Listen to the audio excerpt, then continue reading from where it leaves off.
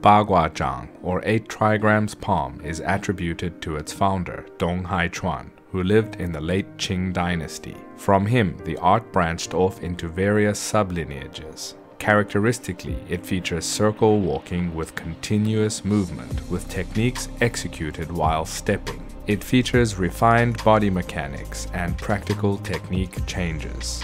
In this primer video, I shall cover further foundational basic skills that one should develop initially. I shall cover their fundamental details and methods as I was taught within my line of Liang style Bagua Zhang. In general, the basic methods and practices I shall present here are beneficial to practitioners of all styles of Bagua Zhang.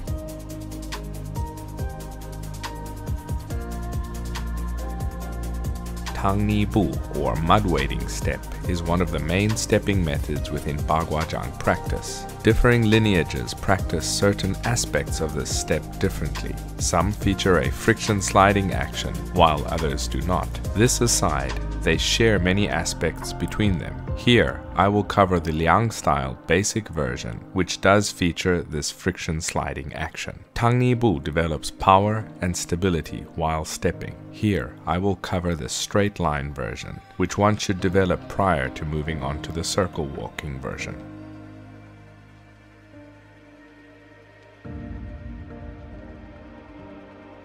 Standing upright with your feet next to one another, slowly raise both your arms to either side of your body with the palms up.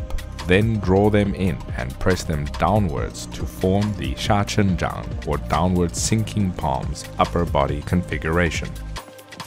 Lower your center of gravity and bend your knees slightly as you push your palms down. Both arms are slightly bent and rounded with the fingers of each hand pointing towards one another. The knees are closed tightly and must not splay outwards. Press the crown of the head up.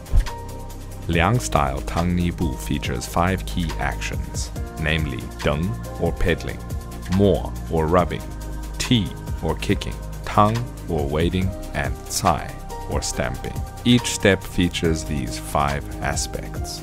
Deng or pedaling is the action of pushing off with the rear leg to mobilize the mass and shift it forwards. Mo or rubbing refers to the rear leg moving forwards with the inner portion of both feet making contact and rubbing one another as the foot steps through. Ti or kicking refers to the action of the leg as it steps out ahead and its required force and intent. Tang or wading refers to the friction slide that the foot must execute as it lands on the floor. Cai or stamping is the action of the foot firmly planting and rooting at the end of the step with the toes gripping the floor tightly.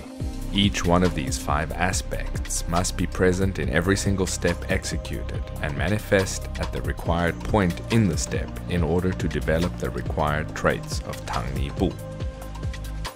Initially, it is advisable to practice in a staccato manner in order to clearly execute each aspect of the step correctly while maintaining your balance and posture.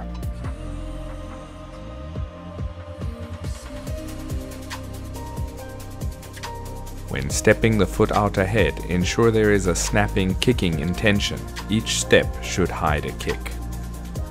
When wading and sliding the foot, ensure your rear leg pushes your mass forward with force. When the rear foot passes the front foot, ensure the two feet closely rub one another, which ensures that the knees are closed and do not open laterally at any point.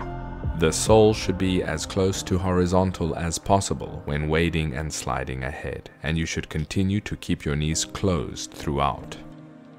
The foot should land firmly and solidly at the end of each step, gripping the floor.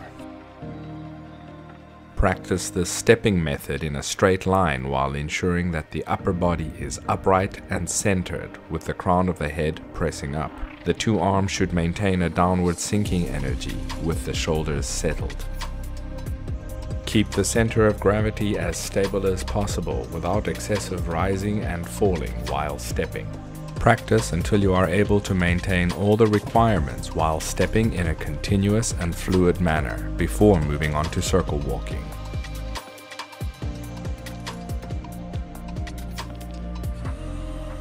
Shangbu Chuan Zhang or advancing step piercing palm features the execution of Chuanzhang while stepping and advancing ahead in a straight line. This practice is a key basic line drill within Liang style Baguazhang. Standing upright with the feet next to one another, execute the actions to form the Lao Seng Tuobo posture, which was covered in a previous Baguazhang 10-minute primer. The key actions are a Pizhang or chop, a Gaizhang or cover, and a Chuanzhang or piercing palm. From the Lao Seng Tuobo posture, advance the front foot forward half a step as you orient the palms vertically while forming the Niu She Zhang or ox tongue palm shape, which was covered in a previous primer. From here, step through ahead with the rear leg as you execute a Chuanzhang in line with the standard method explained in the first 10 minute primer. Continue in this manner, alternating between the left and the right sides as you execute advancing step piercing palms in an aligned stance or shunbu, which features the same side hand and foot extending out ahead. Each step features a half step with the front foot, followed by the rear foot stepping through out ahead, and then the rear foot follows in half a step.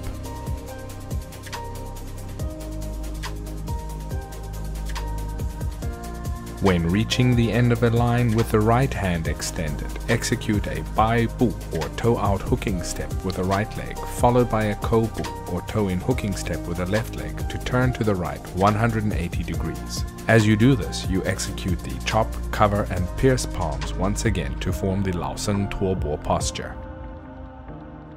Should you reach the end of a line with the left hand extended, simply execute a kou bu or toe-in hooking step with the left foot and still turn to your right 180 degrees as you execute the chop, cover and pierce to form the Lao Seng Tuobo posture. From here, you continue to execute advancing step piercing palms for as many lines as you desire.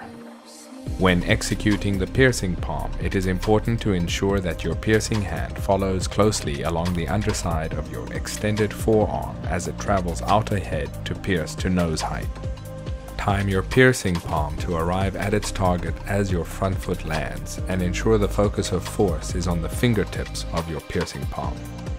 Continue to practice repetitions of this line drill until the action is coordinated and features sharp, focused whole body power.